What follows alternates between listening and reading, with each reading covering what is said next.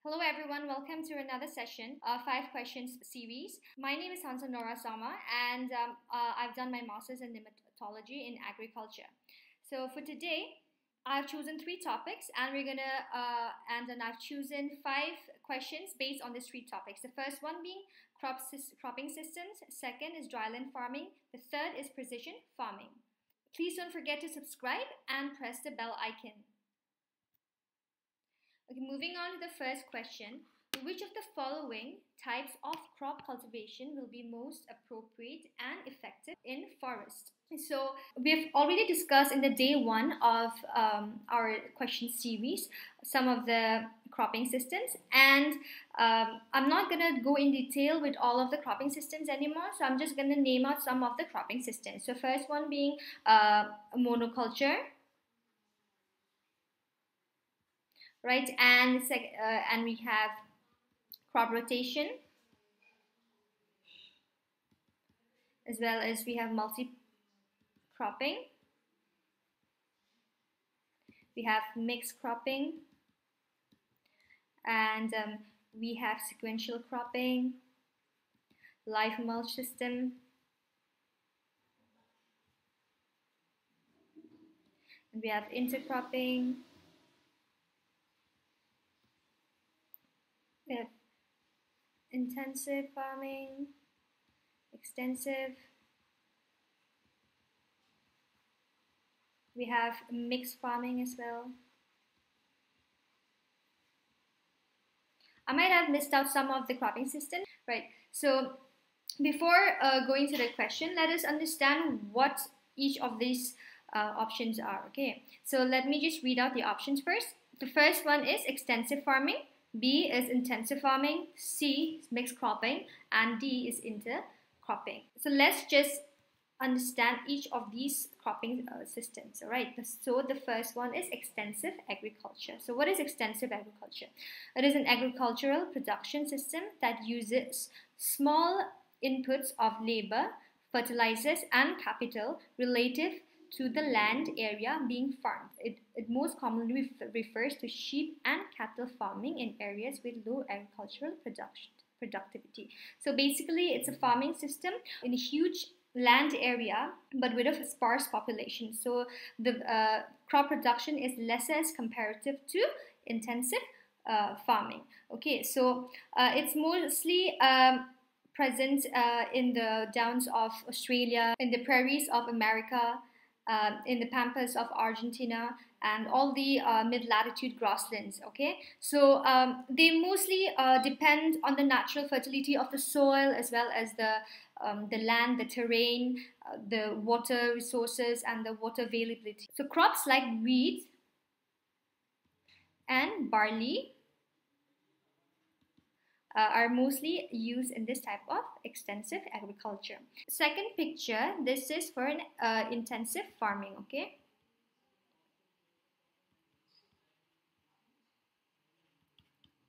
Intensive farming is a type of farming um, in which we'll use a lot of input, agricultural input to, and the main aim or the main objective is to increase the productivity and the production. Intensive farming has drastically changed the whole of agriculture. Okay, so uh, due to increase in population, the farmers and uh, the people had to come up with a solution. So they went for this intensive farming where they the intensive use of chemical fertilizers, uh, pesticides have been used, and all the large farm farm machineries were used to increase the yield so that it can sustain the growing population. It increased the yield, it increased the uh, productivity and production, it increased the variety of the food supply as well, and there was a constant uh, food supply for the whole of um, population.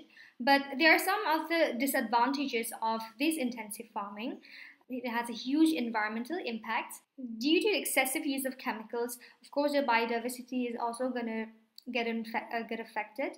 Uh, the microorganisms as well as the uh, beneficial insects are also infect are also affected due to these chemicals. And um, deforestation and alteration of natural habitat is also caused by this intensive agriculture because of uh, to create more space for agriculture, people have started cutting down the trees, and due to which soil erosion has also increased, right? So Other than that, even humans are also in fact affected and uh, the quality of the food supply is also reduced. In the third picture, I have um, highlighted the difference between intensive farming as well as extensive agriculture. Let's just read all of these together. Uh, intensive farming, it requires for sustainable high population densities, okay? But in extensive, it is practiced in areas of relatively low population density. Uh, the inputs the, for the design, it's high, the labor is also high, capital is also high, and water high uh, per acre, low overall, okay? But in soil, there are high fertility required so that it can have, it can help produce more plants, and chemicals are used extensively, all right? Extensive farming, uh, the inputs are uh, inputs, the design, the labor, and the capital, they are low, and water is also low, but then in, uh, it's high in overall. Okay, so the soil is low, uh, for the soil low fertility is required and the chemicals, they are not generally used. And the outputs would be high per unit area and for uh, extensive it is it's low per unit area. Moving on to another slide, mixed cropping. Okay, and this another picture is of intercropping. So these two, they are quite similar, but then they have a specific difference. In mixed cropping, it is a cropping system or a farming system where two or more uh, crops are grown simultaneously in one piece of land. Okay, but in intercropping, it is also two or more crops are also grown simultaneously in one in a single piece of land, but with a specific pattern. All right, so uh, to make it more clear, I have given a difference between the in intercropping and mixed cropping. So in intercropping, the main objective is to utilize the space left between the two rows of the main crop. Okay, and mixed cropping, it is to get at least one crop under favorable condition. And the second one says more emphasis is given on the main crop and in mixed cropping, it's all crops are cared equally. And in the third one says there is no competition between the both crops since they are usually for intercropping we always go for companion planting or companion cropping system. And in uh, mixed cropping there is competition between the crops growing, all right? And in intercropping the intercrops are short are of short duration and are harvested much earlier than main, all right? But here they, uh, the crops are usually harvested at the same duration. And the sowing time may be same or different, but here the sowing time are, is the same for, the, uh, for all the crops. And the crops are sown in different rows and without affecting the population of main crop when sown as whole sole crop. But here, either sown in rows or mixed without uh, consideration considering the population. So uh, as I said, they have a intercropping have a specific pattern system. So it may be in a ratio of 1 is to 1 or 1 is to 2, 2 is to 3 or 1 is to 3. So this may be the main crop and this might be the side crops, right? But in mixed cropping, everything is um, treated equally. Even the pesticides and fertilizers, they're all given equally for all the crops. Whereas in intercropping, the there there's a specific input for uh, different. So moving on to the question again. Uh, which of the following types of crop cultivation will be most appropriate and effective in forests?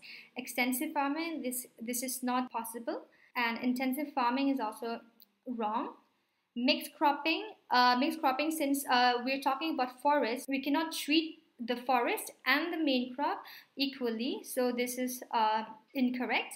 But in intercropping, the forest and the main crop, the trees surrounding it are in a different can can be treated unequally and it can be treated separately. So intercropping is the most appropriate and the most and most effective in forest. Moving on to the next question. Which of the following crops is not cultivated under dryland farming?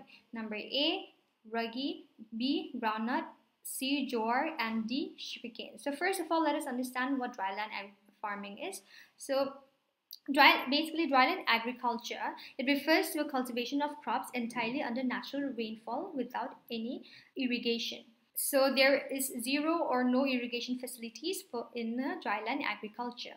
And dryland areas, they are characterized by low and erratic rainfall and no assured irrigation facilities. Right? And dryland agriculture is also important for the economy as most of the coarse grain crops, pulses, oil seeds, these are the major uh, agriculture crops and these are all grown on these lands all right? So dryland ag farming they need a rainfall of about 500 to 1200 millimeter annually all right? And ragi groundnut jowar remember these are one of the main crops for dryland farming and uh, sugarcane on the other hand it's a high water intensive crop so, and it needs an at least an average or annual rainfall of about 1500 to 2500 millimeter. So, the correct answer for this would be sugarcane. Moving on to another question. Uh, what is the average annual rainfall for the production of crops in dry farming? Okay, so under dry dryland agriculture, we have three categories. The first one is dry farming. The second one is dryland farming. And the fourth one is rainfed. So these are the three types of uh, dryland agriculture. The first picture is related to dry farming. Since uh, dry farming is mostly common in the arid region, uh, for crop production, they need an average rainfall of about less than 750 millimeter. And the crop failure is mostly uh, is very frequent because of water scarcity. In dryland farming, it is mostly in the semi-arid arid regions. For crop production, they need about uh, more than five, 750 mm of rainfall. There might be dry spell during the crop production time, but then there are crop failure is less frequent all right so in the third picture from the picture itself you can make out that it's in the humid and semi-humid region all right and for here uh, the uh, the rainfall for the production of crops is around 1250 more than 1250 or more or equal to 1250 millimeter rainfall right? So the water scarcity is, a, is also less and there are no or very few chances of the crop failure right? So let's go to the question again. So what is the average rainfall for the production of crops in dry farming? So the first one is more than 750 mm which is wrong and number b is less than 750 mm which is the right answer moving on to the fourth question. This question is related to precision agriculture. Okay, so let's read the question. Consider the following statements about precision agriculture. The first one, it is a farming management concept based on observing, measuring, and responding to inter and intra-field variability in crops. Number two, the goal of precision agriculture research is to optimize returns on inputs while preserving the resources. Right. So which of the following statement is or are correct? Uh, the first option is one only. Uh, number B is two only. Number C is both one and two. And number D is neither one or two. So the correct answer for this is uh, both one and two. Uh, first and foremost, what is precision farming? So precision farming is also known as satellite farming or a site-specific crop management. All right. So it is uh, it refers to the precise application of agricultural inputs in respect to soil, to weather, to the crop need in order to improve the productivity, the quality and profitability in the agriculture, as well as maintaining the uh, natural resources. Okay. So it was developed in the US in the 1980s. It is a modern agricultural practices where it involves the use of GIS, uh, GPS and remote sensing okay uh, there is a precise use and a, a, very effective utilization of the resources um, and input so that it can bring out the best possible uh, productivity and yield and, and yield without polluting the environment or disturbing the natural biodiversity. Okay, so in this uh, slide, I have uh, given a, um, on the right left hand side, you can see this picture. These are the, some of the features and techniques used in precision farming. So the one is sensors and remote sensing technologies, and we have high precision positioning systems. We have geo mapping as well. We have automated steering systems, variable rate in technology, and integrated electronic communications as well. So there are a few advantages of um, precision agriculture. So I've jotted down a few of the points here. The first one is optimizing production efficiency.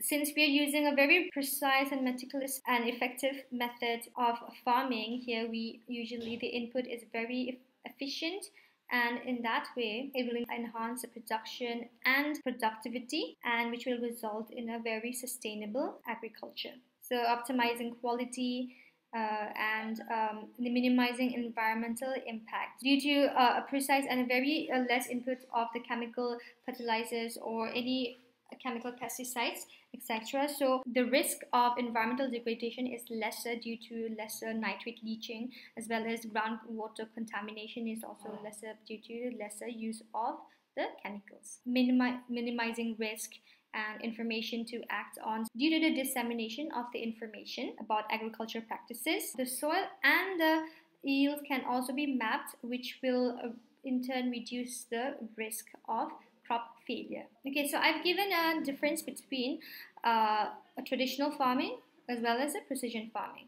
So in traditional farming, unit of treatment organization, the field that is re uh, regarded as a homogeneous arable site, whereas in precision farming, the arable site that is regarded as different from one point to the another at a field level is heterogeneous. Okay, so the, for the nutrient management is based on average sample taking, but in precision farming, the nutrient management is based on GPS and the point-like sample taking. All right, so in average survey on plant diseases and damage and um, intervention if necessary. But in plant protect uh, in precision farming, the plant protection treatment is based on GPS and point like plant surveys. And the sowing with same plant number and variety, but in precision farming, the plant species and plant varieties are specific in sowing. So uh, the same machine operation practice, machine operation is adjusted to the arable site and, and the unified plant stock in space and time. Uh, the unified plant stock are they are usually organized in homogeneous blocks at an arable site. So the last one says uh, few data influencing decision preparation, but in precision farming, a lot of data influencing decision preparation. So these the so these are the major methods of the conventional farming, and this is the precision farming, which is which involve the use of a modern technology. And but it's mostly common in the west regions. And since uh, india is still a developing country it's very hard for all the farmers to have all these high-tech um, systems. And for this it, there is a high cost involved as well as uh, a person need to be a very a person need to be very technically skilled and should be knowledgeable of, uh, with all these technology. But some farmers in, in the south of India have started practicing it, uh, practicing it, and it has doubled the yields of the production. So moving on to the last question, it says if on a 20 acre farm, crops are raised on 15 acres in Rabi, 15 acres in Kharif, and 20 acres in Zaid in a year, what shall be cropping, what shall be the cropping intensity? The options are 300%, B 200%, C 150%, D 250%. So first and foremost, we need to know what a cropping intensity is. A cropping intensity is a number of crops from the same field during one agriculture year. Okay, so we have um, a mm, formula for this. So cropping intensity It's a ratio of a net sown area to the total cropped area into 100. So for this question, I would request you all to please comment the answer. Try to, uh, I've given you the formula for the cropping intensity. So uh, with the help of this formula, try to calculate the cropping intensity and please comment the answer for whatever answer you have got in the comment section. Well, that's all for today. Uh, please don't forget to subscribe and uh, press the bell icon and please do share this video if you have liked it. And uh, please join with me for the next session of the question series. Thank you.